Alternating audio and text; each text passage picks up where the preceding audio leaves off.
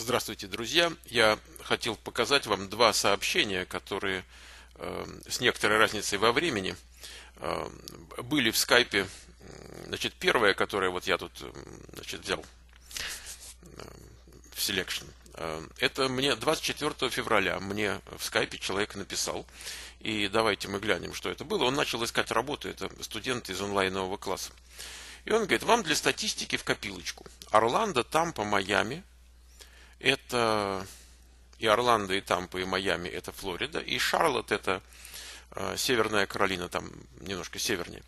В 50% случаев рекрутер задает вопрос, как я получил грин-карту, и просит выслать ему фотографию с самой, грин, самой карты с закрытым номером. Надо сказать, что э, карту с закрытым номером э, в общем-то, давно спрашивают. Это не абсолютно из новенького. Это всегда, ну, не всегда, но достаточно продолжительное время уже присутствует. А дальше, значит, он говорит, э, employment authorization document, это пока у тебя нет грин-карты, то ты можешь иметь разрешение на работу временное, либо через политическое убежище, либо через, например, а, переход из супруга по рабочей визе, значит, туда в сторону грин-карты. Вот, скажем, девочки, которые на H4, хотя и ребята бывают, в основном девчонки, вот они получают разрешение на работу, вот этот Employment Authorization Document, EAD, его еще по-другому называют. Давайте я напишу так для порядка. Ой, сори, по-английски сейчас напишу. EAD. Вот этот вот EAD, это то, что им выдают. Он говорит, Employment Authorization Document в половине случаев рекрутеров не устраивает, а не устраивает, да, не, я напишу большой буквы, они хотели грин-карту. И мы это наблюдаем уже, наверное, пару-тройку месяцев вот так, с того момента, как э, была утечка вот этого никогда не, не подписанного с тех пор а, президентского указа а, о том, чтобы забрать разрешение на работу у тех, кто по визе H4 и вот эти супруги по визе H4 и L2, то есть супруги тех, кто корпоративным переводом или по бизнесу. Грин-карты у меня нет, пишет значит, наш студент, только Work Authorization, так как я в статусе Asylum. Это просто вам для статистики, говорит он, информация по штату Флорида и Северная Каролина. Сегодня он в группе написал, ну, он написал по-английски там, значит, а я вам буду так рассказывать. Он говорит, «Э, дорогие коллеги, значит, меня попросили рассказать о моем опыте поиска работы э, за последний месяц. Э, я, стартед, я начал 17 февраля. Итак, 17 февраля он начал, а 24 ровно через неделю, вот тут, ровно через неделю, он мне написал, что с ним происходило за неделю.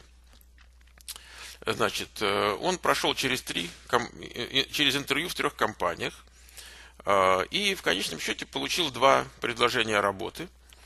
А первый офер, первый офер он получил 10 марта, что на самом деле совсем не так плохо, учитывая, что он сам живет в Орландо, и Орландо далеко не, не оживленный такой рынок, нельзя сказать, что он сильно оживленный. Тем не менее, мы видим, что за там, пару недель, ну, с небольшим, вот, он, значит, получил там работу за три недели, можно сказать. А, и он должен был начать 20 марта 2017 года, и потом он получил второй офер э, через неделю, да, уже 17 марта. И надо было начать 27 марта. Первый офер, это была постоянная позиция с полными бенефитами. Второй офер, это был контракт 10 месяцев. И он выбрал перманент позицию. Ну, я, честно говоря, выбрал бы контракт на 10.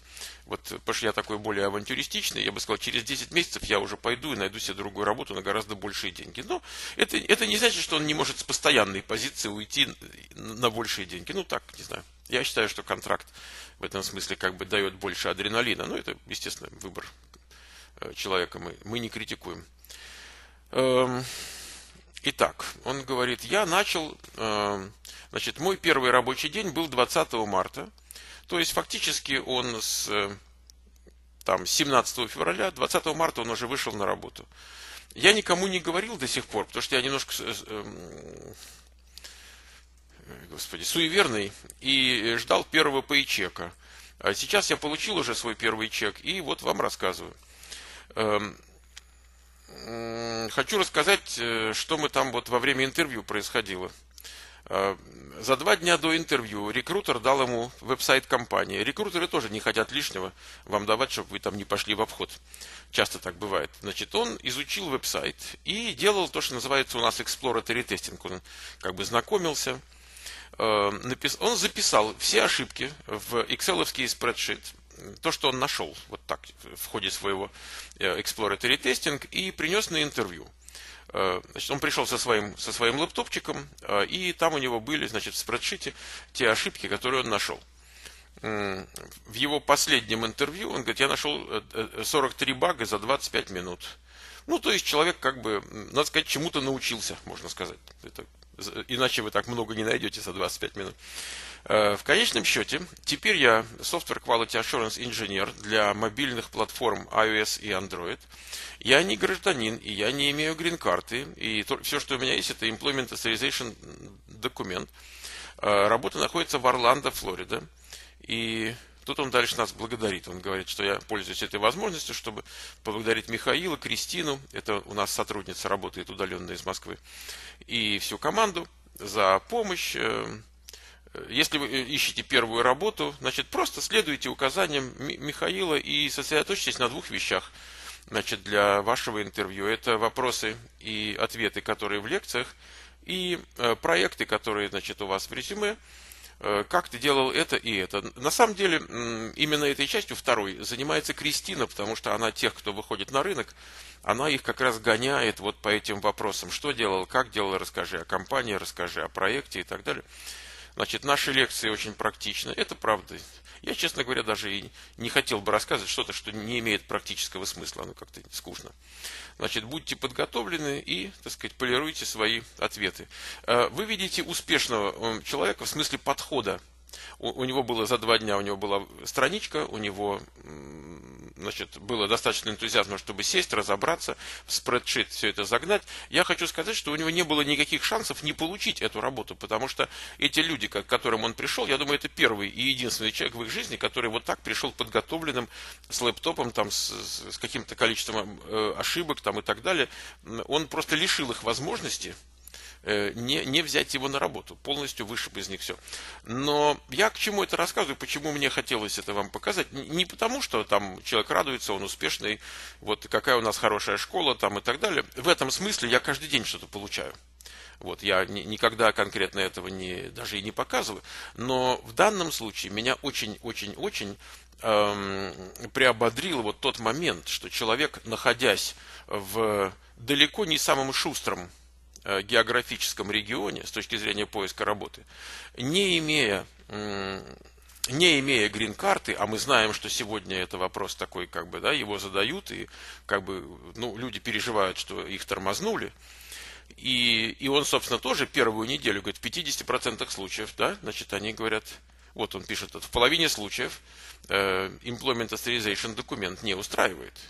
И вот, несмотря на это, на все, то есть со второй половины у него за месяц было три интервью, два джоб-оффера, и он, собственно, начал, начал работать вот реально через месяц после того, как э, повесил свое резюме первый раз там на, на поисковики, а офер получил еще и меньше, чем месяц прошел. Так что, э, да, 10, да, 10 марта он получил, значит, 17 э, февраля начал, 10 марта офер получил. Эм, это достаточно оптимистичный сценарий. Я не хочу сказать, что это, как сказать, все так должны или все так могут, но я хочу сказать, что это не единственный человек с Work Authorization документом, который за последние пару недель находит работу. И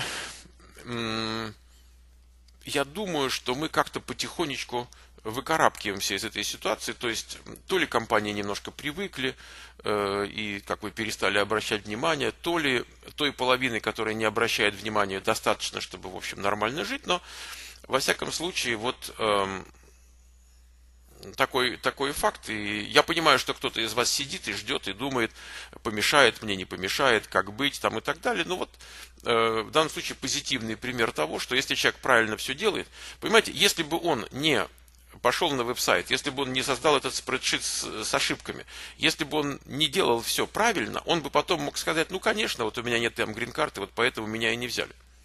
Но когда человек правильно делает, то выясняется, что вот это все не сильно мешает ему. Я, я бы так оптимистично оценил. Все, ребят, счастливо и до скорых встреч.